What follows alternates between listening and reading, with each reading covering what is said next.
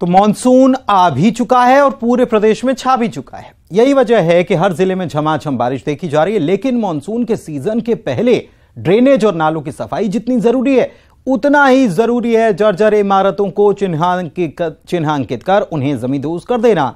वरना ये कब, कहाँ हादसे का सबब बन जाए, कोई नहीं जानता। उज्जैन की तस्वीर देखिए।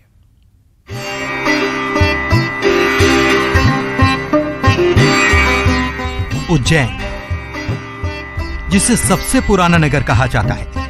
माँ क्षिप्रा के पावन धारा के साथ ही काल के भी काल कहे जाने वाले बाबा महाकाल का आशीर्वाद सदैव यहाँ प्राप्त होता है।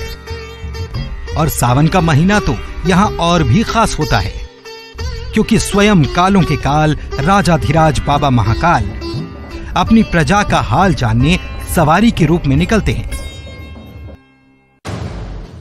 ऐसे में यहाँ कितनी माकूल है व्यवस्था? निगम ने मानसून के लिए क्या कर रखी है तैयारी? क्योंकि 10 अगस्त से निकलने वाली है बाबा की सवारी। आइए डालते हैं इस पर एक नज़र। मानसून के आते ही जर्जर मकानों के गिरने का खतरा बढ़ जाता है। कई बार देखने को आता है कि भारी बारिश में जर्जर मकान गिरने से लोग हादसे का शिकार हो जाते हैं। ऐसे में उज्जैन नगर निगम ने इसके लिए पहले से तैयारी कर रखी है। हालाँकि जर्जर मकान मालिकों को सिर्फ़ अभी नोटिस थमाया गया है। लेकिन अगर मकान मालिक नोटिस के बावजूद इसे रिपेयर नहीं कराते तो बुलडोजर भी तैयार है। जर्जर मकान खतराए जान, जर्जर मकानों को लेकर निगम सतर्क। शहर के छह जोन के जर्जर मकान चिन्हित। 147 जर्जर मकानों को दिया नोटिस। निगम क्षेत्र के जोन एक में 23 जर्जर मकान।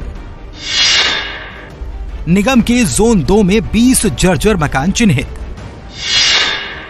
निगम के जोन तीन में 38 तो जोन चार में 27 मकान जर्जर। जोन पाँच में 24 और जोन छह में 15 इमारतें चिन्हित। समय पर मकान रिपेयर कराने का नोटिस। रिपेयर नहीं कराने पर चलेगा बुलडोजर। सवारी मार्ग के 15 मकान भी चिन्हित। हमारे उज्जैन नगर पालिका निगम के हमारे जो झोन कार्यालय हैं, उनके माध्यम से हमने जैसे मकानों को चिन्हित किया है, वो कुल मकान हमारे एक सौ है। जो जर्जर हालत में है, जिनको हमने नोटिस भी जारी किया गया है। और बाकी जो शहर के अंदर सारे जो मकान हैं, उनका भी हमने आकलन करके जो रिपेयर हो सकते हैं, उनको रिपेयर करवा रहे हैं और जिनको हटाना आवश्यक होगा, उनको हटाएँगे। आपको याद होगा जब कुछ दिन पहले ही भगवान जगन्नाथ की अहमदाबाद में निकली यात्रा के दौरान जर्जर मकान का हिस्सा गिरने से हादसा पेश आया था। लिहाजा हादसे से सबक लेते हुए उज्जैन नगर निगम सतर्क हो चुका है।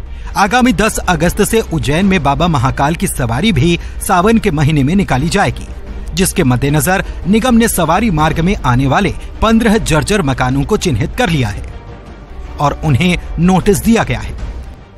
साथ ही बाबा महाकालेश्वर की जहाँ सवारी निकलना है सवारी मार्ग पर इसे पंद्रह मकान है जो जर्जर है।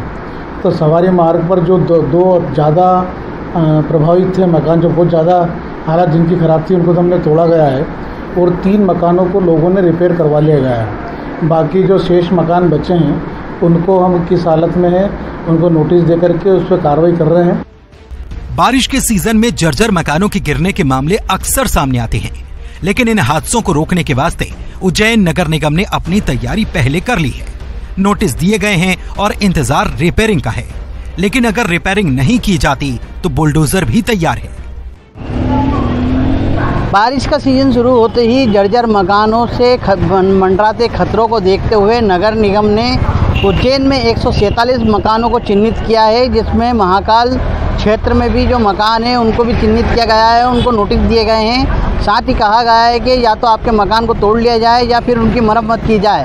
क्योंकि अभी कुछ दिन पहले देखने में आया था कि अहमदाबाद में जगन्नाथपुरी की यात्रा निकल रही थी। उसी दौरान जो एक मकान का छज्जा गिर गया था, जिसमें कई लोग घायल हो गए थे। वहीं सावन का महीना भी चालू होने वाला है और बाबू महाकाल की सवारी जो है महाकाल क्षेत्र से निकलेगी। ऐसे में कई मकान जो है उस रास्ते में आते हैं, उनको भी नोटिस दिए गए हैं और हटाने के लिए बात की गई है। वहीं नगर निगम ने कहा है कि यदि कोई अपने मकानों को सुधार नहीं करता है तो उस पर कार्रवाई की जाएगी और उनके मकान को तोड़ने का जो है, आदेश दिया जाएगा। उज्जैन से जय पटवा न्यूज एटीन मध्य प्रदेश